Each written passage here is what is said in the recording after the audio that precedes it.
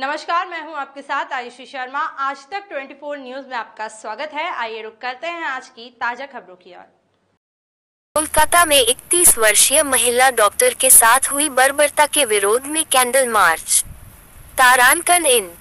संजीव सक्सेना के नेतृत्व में मातृभूमि सेवा संगठन द्वारा कोलकाता की महिला डॉक्टर के साथ हुई बर्बरता के विरोध में कैंडल मार्च एवं डॉक्टर्स के सम्मान में सभा का आयोजन।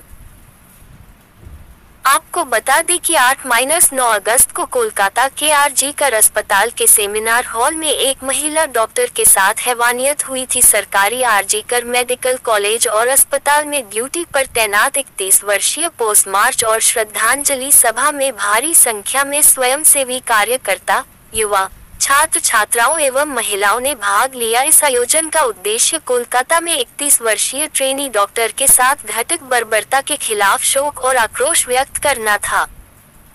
कार्यक्रम में मुख्य अतिथि के रूप में उपस्थित इंजीनियर संजीव सक्सेना ने मीडिया को दिए बयान में कहा कि, हम इस भयानक घटना की कड़ी निंदा करते हैं और चाहते हैं कि समाज में ऐसी घटनाओं पर पूरी तरह से अंकुश लगे। हमने देखा है कि कोविड के समय किस तरह डॉक्टर्स ने अपने जान पर खेलकर, जिन पर लिखा था, डॉक्टर धरती पर भगवान का रूप है, डॉक्टरों के साथ सम्मानजनक व्यवहार करें, नशे को कहे ना नारी का सम्मान करो, कुछ पल का नशा, सारी उम्र की सजा, आदि। बाइट इंजीनियर संजीव सक्सेना, पूर्व महासचिव, मध्य प्रदेश कांग्रेस। राजधानी भोपाल से मोइन खान की रिपोर्ट।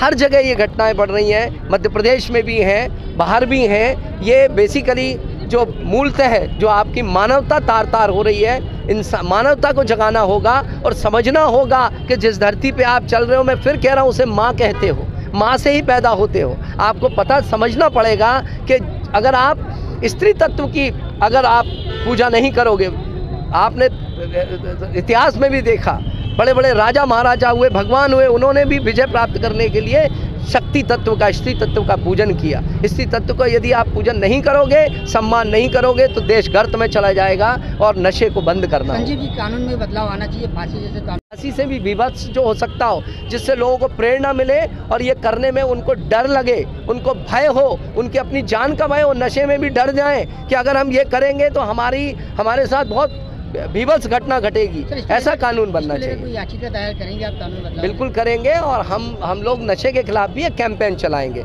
मातृभूमि सेवा संगठन का कैंपेन होगा नशे को कहे ना। नहीं ये उसके उन, उसके लिए हम उनके लिए न्याय न्याय के लिए हम लोग आज यहाँ पर कैंडल मार्च कर रहे हैं। उनकी उनके लिए श्रद्धांजलि के लिए हम लोग कैंडल मार्च कर रहे हैं। साथ ही नशे को बंद करना चाहिए नशे पे मॉनिटरिंग होनी चाहिए क्योंकि नशे करने के बाद उस व्यक्ति के अंदर राक्षस प्रवेश कर जाता है। पंचानवे परसेंट घटनाएँ पिछहत्तर परसेंट सॉरी जो घटनाएँ हो रही हैं, वो उन व्यक्ति द्वारा की जा रही हैं जो सूखे नशे में या शराब के नशे में थे। उनको ये नहीं समझ में आता कि सामने जो खड़ी है वो किसी की बहन, बेटी या माँ हो सकती है। उनके सारे मर्यादा और पर्दे हट जाते हैं। नशे को, नशे के खिलाफ हम लोग एक कैंपेन शुरू कर रहे हैं और ये महिलाओं के और लड़कियों के जिस तरीके से असुरक्षा की भावना फैल रही है, ये गलत है। आज देश, ये वो देश है जहाँ पर रानियाँ रानियों ने राज किया, जहाँ पर बेटों को माता के नाम से जाना जाता था। ऐसे में यदि किसी पढ़ने जा रही बच्ची के, किसी स्टूडेंट के मन में, महिला के मन में यदि ये असुरक्षा आ जाएगी कि वो सुरक्षित है या नहीं तो ये देश आगे नहीं बढ़ पाएगा, क्योंकि बिना महिलाओं की सहभागिता से ये देश नहीं बढ़ सकता। हम घोर विरोध करते हैं ऐसी घटनाओं का।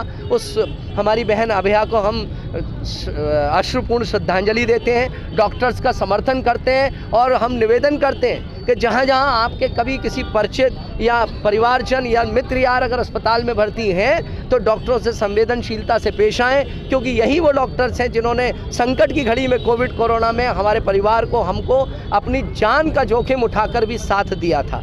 हम लोग ईश्वर को इक्वलेंट टू डॉक्टर्स को इक्वलेंट टू गॉड मानते हैं और महिलाओं के साथ किसी भी वर्ग की, ये अत्याचार ये दरिंदगी, ये घोर आपत्तिजनक है, इसका हम विरोध करते हैं। उनको फांसी पर लटकाना चाहिए, न्याय तुरंत होना चाहिए। उसके पीछे क्या वजह है? कितनी बड़ी साजिश है वो सामने आना